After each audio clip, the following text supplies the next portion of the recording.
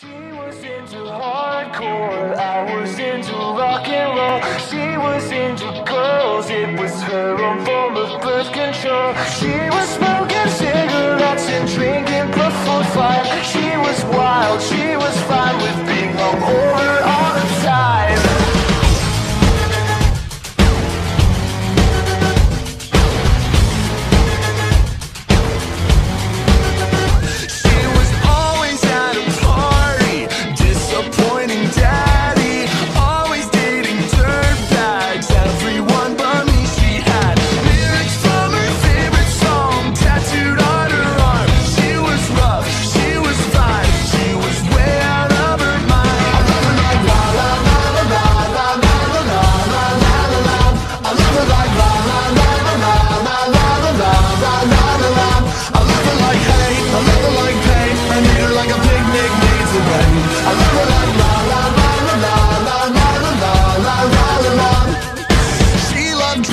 whiskey first thing in the morning.